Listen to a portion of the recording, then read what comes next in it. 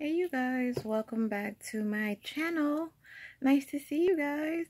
Um, just want to apologize for not posting last week. Um, it's been a trying time, but I'm going to push through it and I will definitely have more content for you guys this week.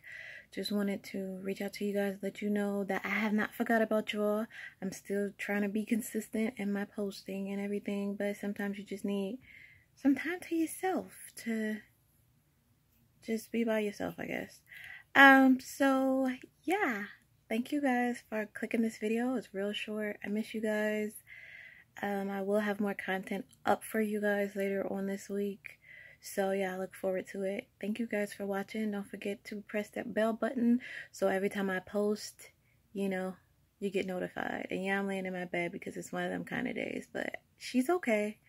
Don't worry, she's all right. Myself. Bye, y'all.